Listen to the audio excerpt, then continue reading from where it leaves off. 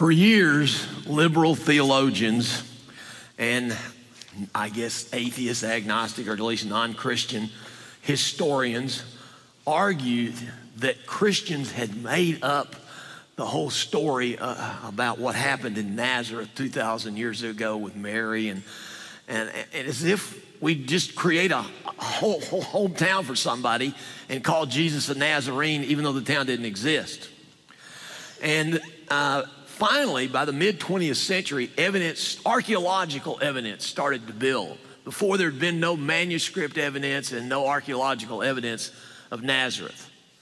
And finally, the archaeologists concluded that it did exist in the first century. It was located about 100 miles north, you can see the map on the screen, of Jerusalem. But it didn't, it was so little, so tiny, so insignificant that it didn't even appear on maps of that time period. That was one of the problems, which, by the way, lines up with the Bible's description of Nazareth as completely insignificant as well. It was located in a region of Galilee, generally known as Galilee of the Gentiles. Uh, or Galilee of the nations, because so many non Jews or Gentiles lived in that area.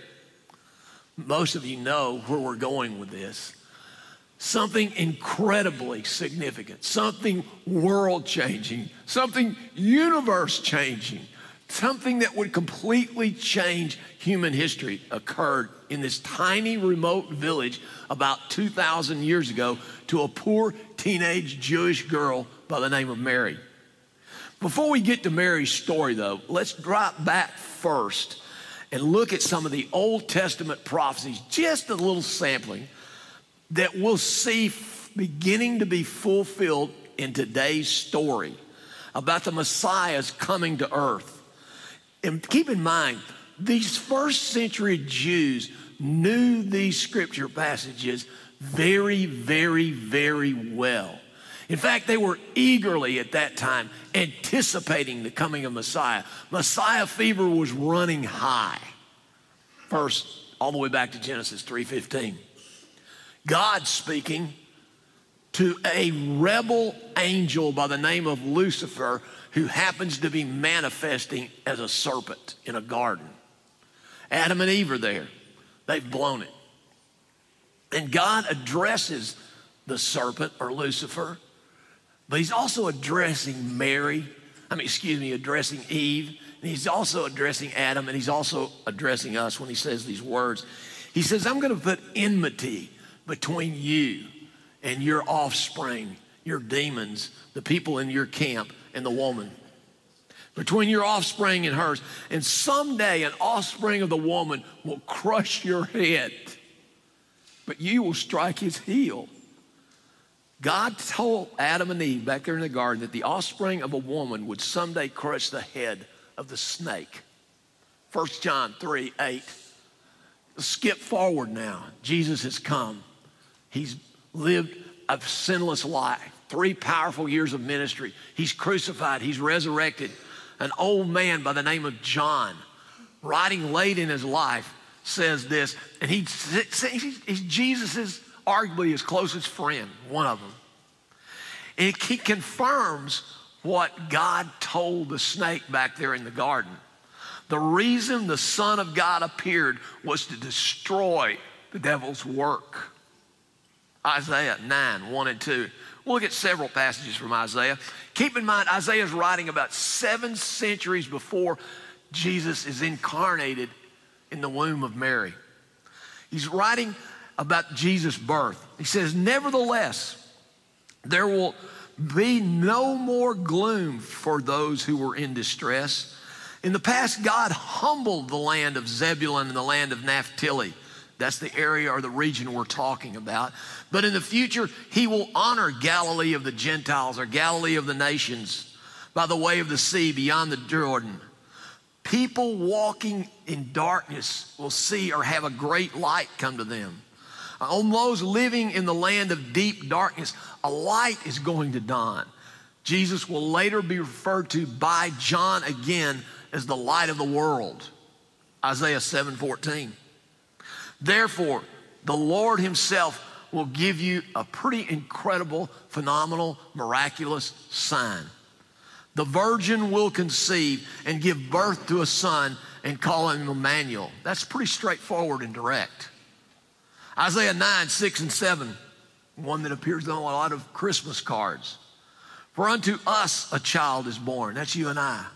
Unto us a son is given, and the government will someday be on his shoulders, the government of the universe. And he will be called Wonderful Counselor, Mighty God, Everlasting Father, Prince of Peace. Of the greatness of his government and peace, there will be no end. And he will reign on David's throne. There's a lot of today you're going to hear about David's throne. And over his kingdom, establishing and upholding it with justice and righteousness from that time on and forever. The zeal of the Lord Almighty will accomplish this. And then another prophet by the name of Micah, again writing close to 700 years before Jesus' birth, Micah 5 2, he names the place Messiah is going to be born. But you, Bethlehem, Ephrathah, Ephrathah is just an older name for Bethlehem. Though you are small among the clans of Judah, out of you will come for me one who will be ruler over Israel, whose origins, they're not just David descendant. He's from old, from ancient times. Jesus refers to himself as the Alpha and Omega, the beginning and the end. Galatians 4 4. Again, a highly educated, wealthy, multilingual Jew by the name of Paul, writing after Jesus' birth, death, and resurrection, says, But in the fullness of time, they say in your translation, when the exact ordained by God, by the sovereign God of the universe, right time came, God sent his son, born of a woman, born under the law. What law? The law of sin and death to defeat it. Now, with that Old Testament prophetic backdrop in mind, turn with me now to my assigned passage of Scripture, Luke 1, verses 26 through 56. I'm going to cover 30 verses. It's a story. Uh, it's a story, and I'm going to break it up into little bitty chunks, talk about each piece, then I'll go back and summarize the whole story for you. First, Luke 1, 26 and 27, two verses. When does this story take place? It takes place in the sixth month of Elizabeth's pregnancy. What in the world does that mean? You'll recall a few weeks ago we talked about this. That's John the Baptist's mother. She's very, very, very old. I don't know exactly how old, but we would say today she's past menopause, okay? She can't have children. She's past the age of childbearing. Remember the story of her pregnancy? Gabriel, same angel in today's story, shows up and tells an old man who's a priest who's there serving for the weekend uh, when his troop of priests is supposed to come. He's bivocational. And he's in the temple in Jerusalem, and an angel shows up and says, Hey, your wife's going to get pregnant. Not exactly like that, but that's a loose paraphrase. And, and uh, you're going to name the baby John. And he goes, uh, My wife's really old. You sure about all this? Again, loose paraphrase. And the angel says, Because you didn't believe me, I'm going to give you a sign. You may not like the sign, but you're not going to talk for the next nine months until the baby's born. And so, six months into this older woman's pregnancy, this story takes place that I'm going to share with you today, that Luke shares with us, that the Dr. Luke, the first century Jesus historian shares with us. So that's the dating of the story. God sends an angel again, not to uh, Jerusalem, to the temple, not to Elizabeth, who, by the way, no one knows exactly where their home was. Most people think it was about just a few miles north of Jerusalem. So that's about 90 to 100 miles south of Nazareth. So, anyway, this time the angel goes to Nazareth a town in Galilee we've already talked about, to a virgin pledged to be married to a man named Joseph. That's the earthly father of Jesus. Lee talked about him last week, a descendant of David. Mary is also a descendant of David. The virgin's name was Mary. What does it mean pledged to? Well, I think in some Bibles it may say betrothed. That's a very technical term back then. It means more than an engagement. It usually lasted about a year. There was no consummation of the marriage. That's fancy religious language mean. They couldn't have sex during that year. They had that after the official wedding ceremony. But to get out of a betrothal, it wasn't like getting out of an engagement the day you broke it off. You had to get a divorce in Jewish culture. So it was pretty serious. She's betrothed to him. Luke 1 28 through 33, next six verses. So the angel goes to Mary and says this Greetings, you who are highly favored, the Lord is with you. Mary was greatly troubled at his words and wondered what kind of greeting this might be. What do you mean, highly favored? But the angel said to her, Don't be afraid, Mary. That's a very common thing for angels to say when they show up in your living room, okay? If they're manifesting as an angel, not an angel unaware to somebody else, uh, you're going to be terrified. It, it, First response of everybody. Don't be afraid.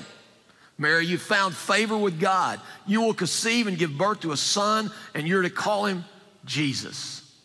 He will be great, and he will be called the Son of the Most High. The Lord will give him the throne of his father David. Does that resonate with those Old Testament prophecies seven centuries before? Yes. And he will reign over Jacob's descendants forever, and his kingdom will never end. The name Jesus actually is Greek for Joshua, and it means Yahweh saves or God saves. God had told David himself a thousand years before this in 2 Samuel 7 16 that someday a descendant of his would rule a kingdom that would never end. Gabriel repeats that promise to Mary, again, who, by the way, is also a descendant of David. Okay, now let's continue with the story. Luke 1 34 through 38. Mary asks a legitimate question. She doesn't get struck with not being able to speak. She apparently had a different attitude than Zechariah did. How will this be since I'm a virgin? Good question. The angel answered, The Holy Spirit will come on you, and the power of the Most High will overshadow you. So the Holy One to be born will be called the Son of God, not the son of Joseph, the Son of God. Even Elizabeth, your relative, is going to have a child in her old age. And she, who was said to be unable to conceive, is in her sixth month of pregnancy. Four, great statement about the power and the sovereignty of God. No word from God will ever fail. Put that one in your pipe and smoke it. It's a good one to hang your hat on, okay? I am the Lord's servant, Mary answered. Look at her response. It's an incredible response. I am the Lord's servant, this 13 or 14 year old teenage girl says. May your word to me be fulfilled. The angel leaves. God is about to enter the world. We call it the incarnation as a human being, as Mary's baby boy, if he wants to come through a poor teenage virgin in the first century to make a point, it's his prerogative. He can do it. I don't know why theologians struggle with the virgin birth above all the other miracles. God's not bound by the laws of nature. He's the sovereign Lord of the universe. He's made that clear over and over and over. If he can speak the universe into being, if he knows the name of all the billions of stars in his universe, supernaturally impregnating a teenage virgin is not a high pole to chin for God. I stole this line from one of the uh, commentators. I can't remember which one. And I embellished it a little, but I want to give credit, but I just can't remember to give credit to. Uh, God sent a divine messenger, Gabriel, to confirm God's divine choice, Mary, to bear his divine child, Jesus, his son, who will bring a divine blessing, salvation offered to anyone who believes, Mary included. Mary didn't ask for a sign from Gabriel to validate his words but he gives her one anyway. Elizabeth, her relative, is miraculously pregnant also. Mary is chosen and blessed and highly favored, but we need to do a little caveat here. She is not the blessing. She is simply the recipient of the blessing. I want to be clear about this as we continue this story. There are many things we can learn today from Mary, and we should. Things we should strive to emulate in her life. But she's the receiver of God's grace and favor, not the dispenser of God's grace and favor. She is not a mediator between any human man or woman and God. There's no reason to pray to her. She too is a sinner saved by faith in the one and only Son of God. 1 Timothy 2 5 says this There, Jim, is only one mediator between God and man, not two, just one, the man, Jesus Christ. Mary is also not the queen of heaven, as some people refer to. That's a pagan concept, by the way. There's absolutely no evidence that she herself was immaculately conceived as Jesus was, or that she was a perpetual virgin. The documentary evidence from the manuscripts does not back that up. In fact, there's plenty of biblical evidence to the contrary. One of her other sons wrote a New Testament epistle, in fact. She did have other children. His name was James. She's a model for all of us to follow of faith, humility, and obedience to God and His will for her life. We certainly should honor and respect her. Also, highlighted in this section of the story is God's sovereign right to rule and His power and ability to pull off whatever He wants to pull off. Next section of the story Luke 1 39 through 45. Mary quickly gets ready and hurries to a town in the hill country of Judea. Again, probably about 90 miles south. And she enters her relative's home, Zachariah, and greets Elizabeth. Now, Zachariah is still not talking. When Elizabeth hears Mary's greeting, and the greeting is more than just, hey, hey, Elizabeth, they probably have a conversation where she tells her the story about what happened to her, and they're comparing notes. In a loud voice, Elizabeth explains after she's filled with the Holy Spirit and the baby has leaped in her womb. Who's the baby? John the Baptist. She says this prophetically Blessed are you among women, and blessed is the child you will bear. But why am I so favored that the mother of who? My Lord should come to me. As soon as the sound of your greeting reached my ears, the baby in my womb leaped for joy. Blessed is she who has believed that the Lord would fulfill his promise to her. Probably the greeting of Mary, again, included an explanation of Gabriel's appearance to her. It's unlikely at this point in the story that Joseph knew anything at all about what was going on. He probably may have a clue that his wife was pregnant by the Holy Spirit. She had barely pregnant at this point. Elizabeth's words to Mary and about her baby are prophetic utterances given under the inspiration of the Holy Spirit. Elizabeth's humility is also on display here as well. She too is carrying a very important baby herself, but she readily acknowledges that Mary is carrying her Lord. Clearly, a messianic and divine reference to Jesus. Mary is blessed because she believed the promises that were made to her, as Elizabeth points out. Let's jump quickly out of the story just for a minute go straight to some application even before I finish. Do you believe the promises made by God to you? Do you? Here's a few of those promises just from Scripture. Let's start with one we all know. John 3:16. For God so loved the world that he gave to you his one and only son that if you'll just believe in him, you will never die. You will not perish, but have eternal life. Here's one, Acts 1 8. Not just made to some first century disciples, but made to you. You will receive the Holy Spirit and you will receive power when the Holy Spirit comes on you. Are you embracing that daily? Do you recognize that the same power that raised Jesus from the dead, if you really know him intimately and personally, dwells in you? I've told you this before, I'm to keep saying it over and over because it's foreign to some of you. Get down on your knees every morning and acknowledge you have the Holy Spirit and ask God to manifest that Spirit in you that day. Ask Him to fill you like He did those early Christians, not just at Pentecost, but after Pentecost, with the Holy Spirit to empower you to get through your day and accomplish what He wants to do through you. Here's another one. I love this passage of Scripture. I quote it all the time to myself when I'm down. Romans 8, 38 and 39. Paul says this I'm convinced, Jim, that neither death nor life, neither angels nor demons, no demon from hell, no person, nothing, the present, the past, the future, any power, neither height nor depth, anything in all creation will be able to separate you from the love of God that is in Jesus Christ your Lord.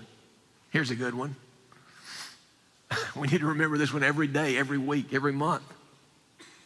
If we confess our sins, He is faithful and just and will forgive us our sins and purify us or cleanse us from all unrighteousness. John 14, 1 through 3, one of the early passages I memorized as a seven year old kid when I was being mentored by my second grade public school teacher. Don't let your heart be troubled. Jesus speaking to his disciples the last night of his life, not just to them, but to you. You believe in God, believe also in me. My Father's house has lots of rooms. If it weren't so, I would have told you. I'm going there to prepare a place for you. And if I go and prepare that place, I'll come back. I can take you with me, and we'll be together forever. Now to the story again Luke 1 46 to 50. Famous next few verses. It's called the Magnificat. It may or may not have been sung. We're going to call it a song. But certainly it's a poetic utterance or prophetic poetic utterance uttered by Mary under the inspiration of the Holy Spirit. And Mary said, My soul, she just burst into spontaneous praise. My soul glorifies the Lord. And my spirit right now is rejoicing in God, my Savior. For he's been mindful of my humble state of his servant. And from now on, all generations are going to call me blessed. Why? Because the mighty one, and he is the mighty one, has done great things for me. And holy, holy, holy, holy is his name. And his mercy extends not only to me, Mary's saying, but to those who fear him from generation to generation. It's the first half of the Magnificat. Magnificat is Latin for the first line of the song, My soul glorifies the Lord. Note, Mary clearly knows the Old Testament really, really well. You're going to hear more of it in just a few minutes. She'll reference many Old Testament passages that express what she is communicating. One is Isaiah 57 15. It's almost exactly what she's saying in the first part of the Magnificat. For this is what the high and exalted one, Isaiah says, says. This is what God says. The one who lives forever, whose name is holy. I live in a high and holy place, but I also live with the one who is contrite and lowly in spirit, like Mary, to revive the spirit of the lowly and to revive the heart of the contrite next three verses in the story Mary continues her prophetic song. Luke 1 51 through 53.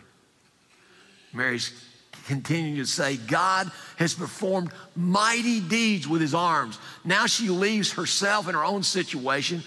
It talks about the God of the Old Testament, something that God talks a lot about himself in the Old Testament. He has scattered those who are proud in their inmost thoughts. He has brought down rulers from their thrones, but he's lifted up the humble. He has filled hungry with good things and has sent the rich away at times empty. Again, Mary is stating Old Testament principles about God's nature. God does not operate his kingdom according to worldly principles.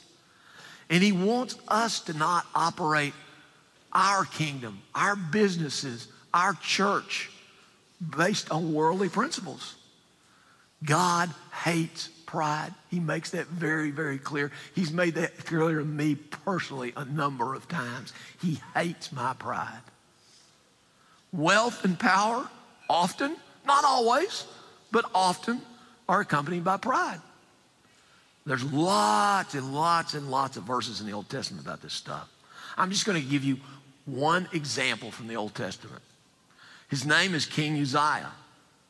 Second Chronicles 26, verse 5. King Uzziah sought God during the days of the prophet Zechariah, who instructed him in the fear of God. And as long as he sought the Lord, God gave him success. But, Second Chronicles 26, 16a. But after Uzziah became powerful, his pride led to his downfall. That story has played out over and over and over again, not just in the Old Testament, but in human history. Proverbs, I'm thinking of the time I told my son this. I I w- didn't plan to tell this story, but it's a cute little funny story. Uh, I think it was baseball. I was coaching baseball. And I didn't know how to coach baseball very well, but I knew how to draft kids that could play baseball. And uh, I had another guy that was my co coach, and he knew how to play baseball. And so we were a pretty good team. And so our teams were always real good. And my son was a good player, he was a good athlete. And he's not by nature, he's going to kill me when he hears this. He's not by nature cocky, not near as cocky as I can be. But he'd gotten pretty cocky about his athletic abilities. And I remember we were going to play a team one day that wasn't very good. And he was, you know, blowing it off how great we were going to do and all this other stuff. And just a simple little Uzziah story. And I quoted that proverb back to him. I said, Pride comes before a fall, son. Sure enough, we got beat. Simple as that. And I reminded him of it Simple as we're done. Uh, that was free. Uh, some of you can relate to that a little better than you can Uzziah, but okay. The Bible does not glorify poverty, but God routinely condemns people who have no regard for the poor, and God identifies closely with the humble and the poor, and ultimately judges individuals and nations that mistreat the poor. That's clear from the Old Testament. Regardless of what your politics are, I'm not talking about politics, I'm talking about biblical principles. Let me give you just one of those Old Testament passages, okay? It's Isaiah 58, 6 through 9. And I think this passage applies to individuals as well as churches, as well as organizations, as well as cultures, as well as nations. God speaking to the Israelites. They're very religious. They fast a lot. They go to church a lot. And God says this to them Is not this the kind of fasting I've chosen? To loose the change of injustice and untie the cords of the yoke and to set the oppressed free and to break every yoke?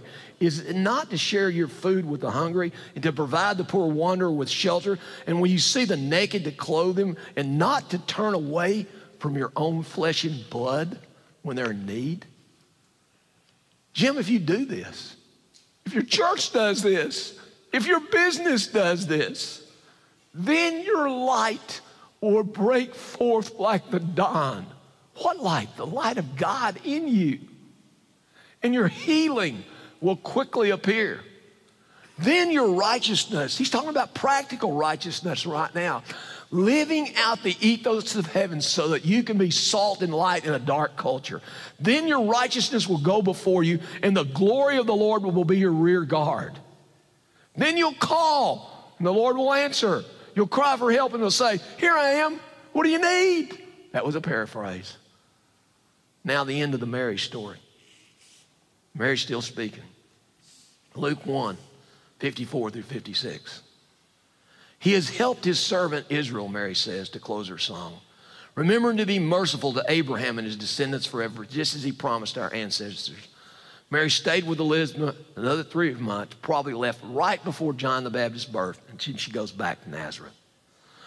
Mary is referring here to her baby, Jesus, being the prophetic fulfillment of all those Old Testament promises to Israel about Messiah.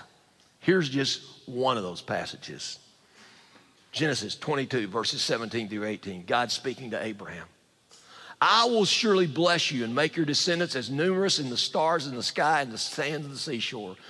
your descendants spiritually will take possession of the cities of their enemies, and through your offspring, all nations on earth will be blessed because you've obeyed me.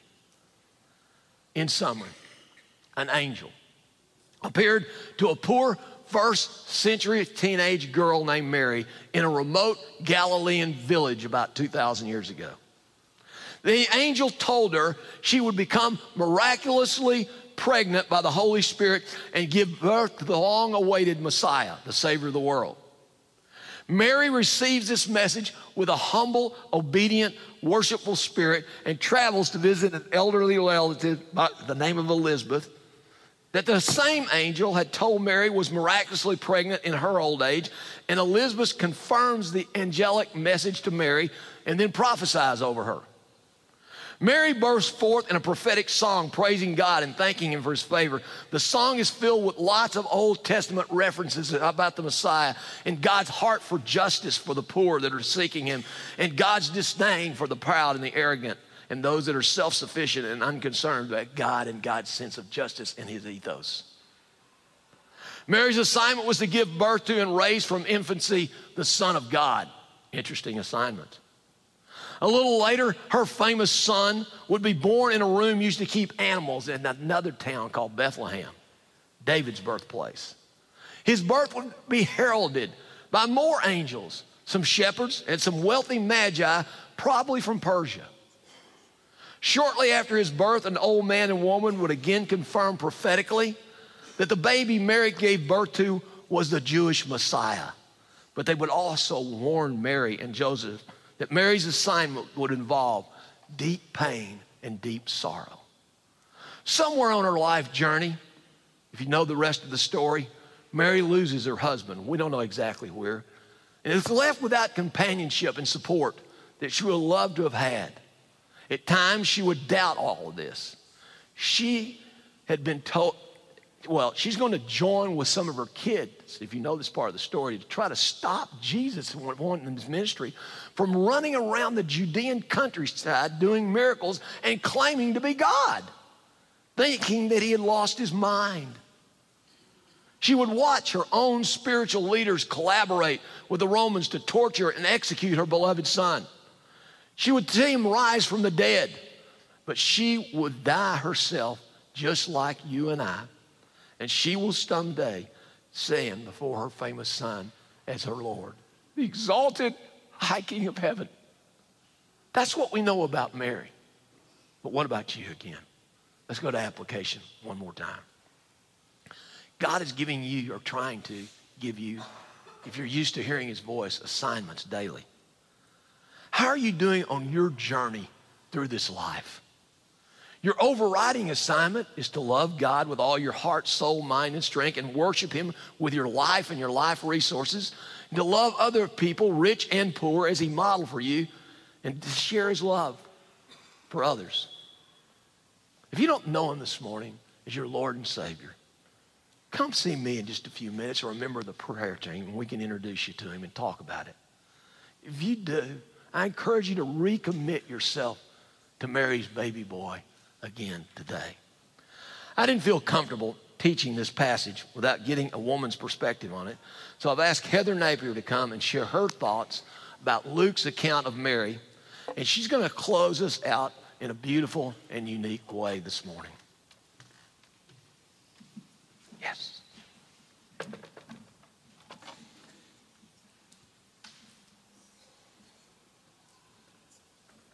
As I was preparing for this morning, I sat with another lady and she prayed over me, and her prayer was Jesus, would you tell Heather about your mom? And I thought, Jesus had a mom, right?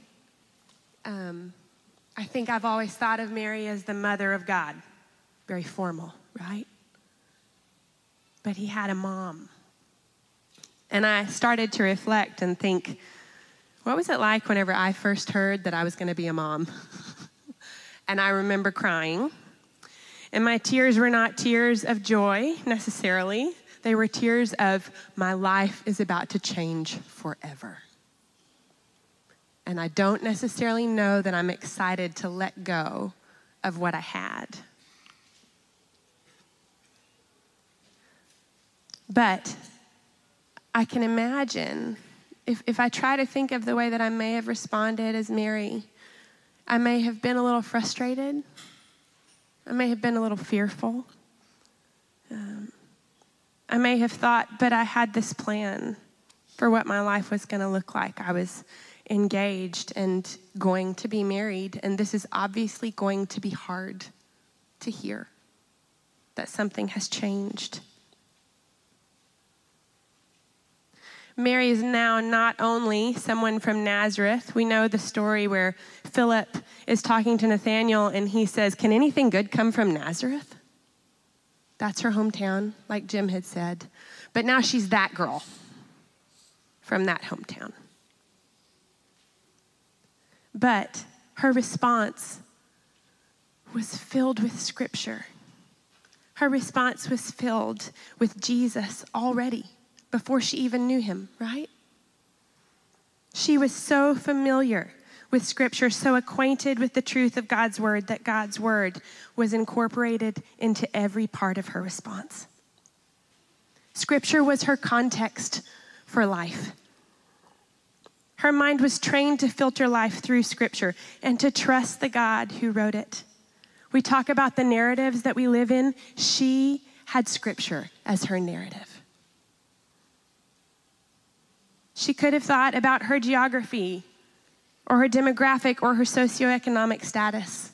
She could have thought about the opinions of her family or her friends. What are they going to say? But she leans in to the redemptive story of God and there finds her place, saying, Behold, I am a servant of the Lord. Let it be done to me according to your word. She lives out what the psalmist says in Psalm 42 6 When my soul is in the dumps, I rehearse everything I know about you.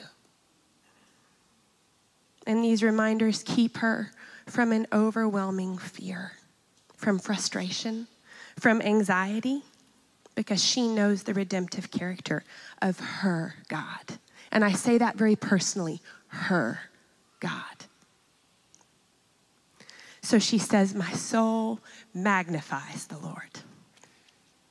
And my spirit rejoices in God, my Savior, for he has looked on the humble estate of his servant.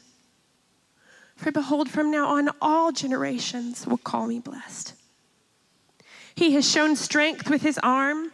He has scattered the proud in the thoughts of their heart. He has brought down the mighty from their thrones and exalted those of humble estate.